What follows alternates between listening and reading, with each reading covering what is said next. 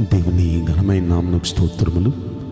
ఈ వాగ్దానం వింటున్న మీకందరికీ మన ప్రభువును ప్రియరక్షకుడైన యేసుక్రీస్తు నామములో శుభములు. మా హృదయపూర్వకమైన వందనములు తెలియచేస్తున్నాం. ఈరోజు దేవుని వాగ్దానం కీర్తనల గ్రంథం నలభై ఐదవ కీర్తన ఏడవ వచనం.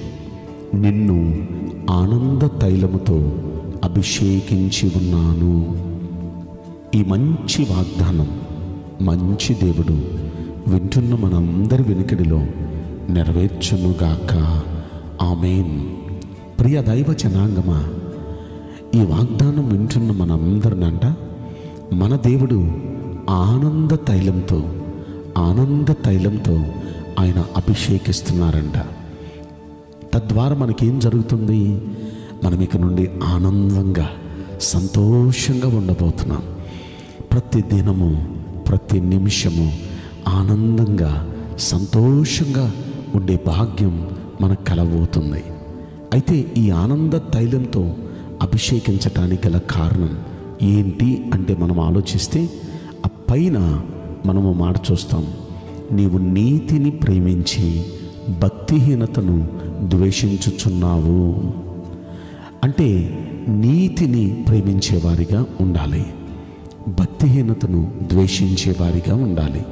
అప్పుడే దేవుడు ఆనంద తైలంతో అభిషేకిస్తాడు. నీతిని ప్రేమించటం అంటే నీతి తప్పకూడదు.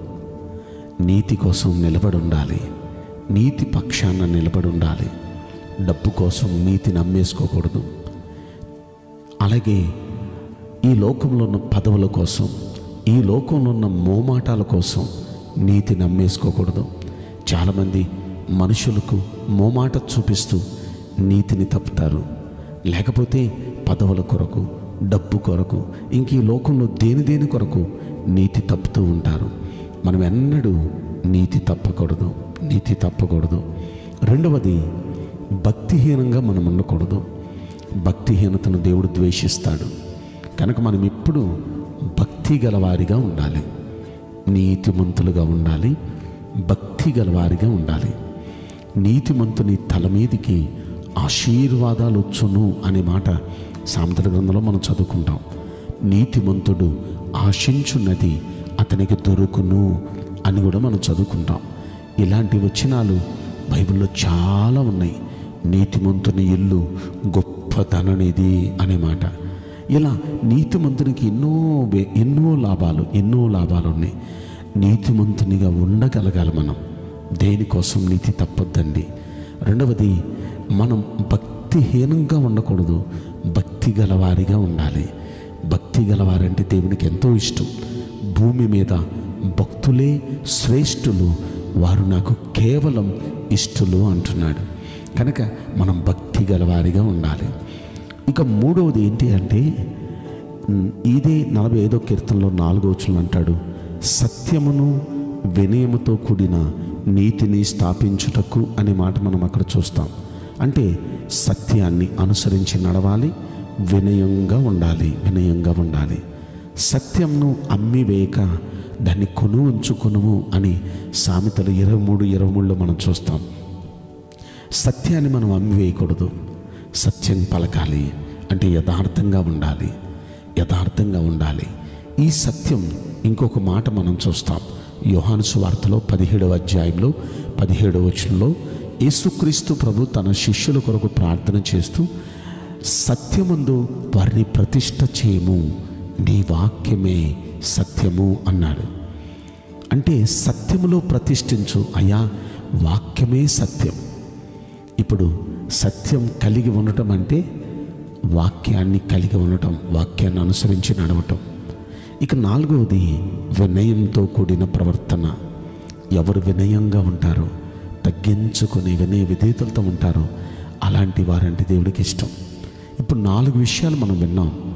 ఒకటేమో నీతిమంతులుగా ఉండాలి. రెండు భక్తి గలవారిగా ఉండాలి. మూడు సత్యాన్ని అనుసరించి నడవాలి. అంటే వాక్యాన్ని అనుసరించి నడవాలి. నాలుగవది వినయంగా ఉండాలి. ఈ నాలుగిటిని మనం అనుసరిస్తే నిశ్చయంగా దేవుడు ఈరోజు మనతో అంటున్నాడు నిన్ను ఆనంద తైలంతో అభి అభిషేకిస్తాను అంటున్నారు. అంటే ఆయన అభిషేకిస్తే ఇక మనం ఆనందంగా ఉంటాం సంతోషంగా ఉంటాం.